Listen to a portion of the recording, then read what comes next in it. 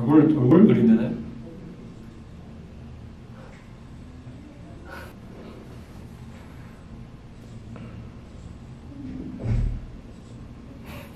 경기- 좀 보여주세요. 네? 이 좀 이유가 있다면 이유는 이제 그리핀전 시작하고 첼퍼 때부터 같이 리그에 있었는데 처음 이기게 돼서 이제 그 오랜 이제 영혼을 이뤄낸 그런 느낌이라 진짜 다른 날보다 기쁨이 진짜 막 10배 정도 되는 것 같아요 생리의 기쁨이. 안녕하세요. 샌드박스 게이밍의 주장 겸 서포터를 맡고 있는 조커 조재엽이라고 합니다. 이제 그리핀전에서 거의 이제 3년이 다 돼가는데 처음으로 승리하게 됐는데 음, 그딱 3세트 마지막에 경기가 이제 이겼다고 확정이 됐을 때 그 짜릿함은 진짜 SKT전 처음 이겼을 때보다 더 짜릿했던 것 같아요.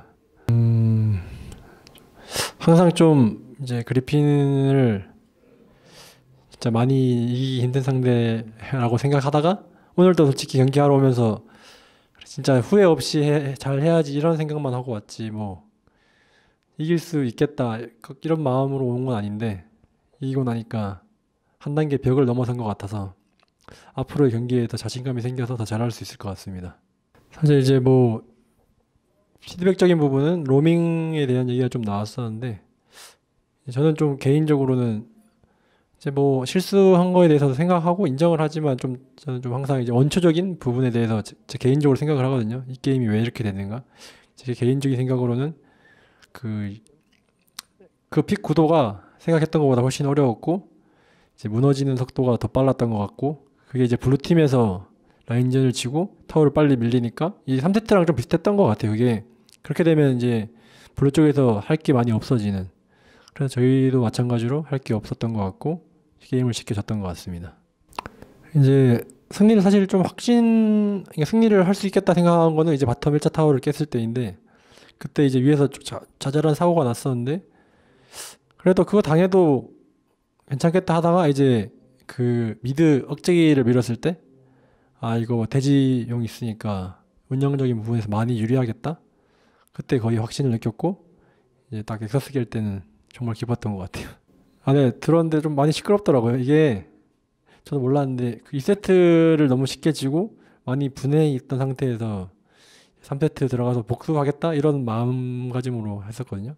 근데 게임이 잘 풀렸고 저희가 이제 캐리할 수 있다 이렇게 얘기가 나와가지고 딱 끝났을 때도 잘했다는 생각에 복받쳐 올라가지고 이제 서러움도 있었던 것 같아요. 이제 그리핀한테 한 번도 못 이기다 보니까 뭐랄까 그 이제 해방된 느낌 그 위에 있는 팀에서 이제는 만나면 다시 다시 만나도 이길 수 있겠다 이런 생각이 들어서 고역해졌던 것 같아요.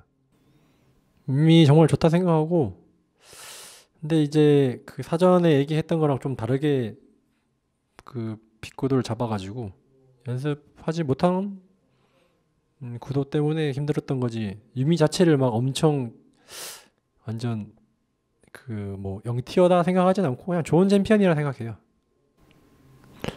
근데 뭐 meta가 잘 맞다기보다는 팀 실력이 좀 오락가락 할 것 같아요. 본 사람들 입장에서도 얘한테도 이기고 얘한테도 지고 이, 어, 이걸 이- 얘는 이길 줄 알았는데 어, 지네 이런 생각도 들 것 같고 또 어느, 어느 날 경기를 보면 아 잘하네 이런 생각도 들 것 같고 저희가 다 그런 것 같아요. 다섯 명 다 좀 완전 고정적인 경기력보다는 들쑥날쑥하지만 잘할 땐 정말 잘하고 좀 못하거나 할 땐 다 좀 많이 못하는 그런 팀이라 그런 것 같아요.